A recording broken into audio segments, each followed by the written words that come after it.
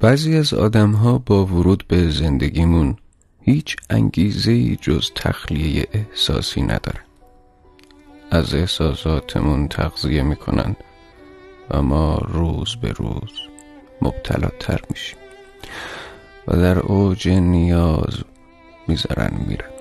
رفتنشون به درک بیماریشون بهمون سرایت می‌کنه.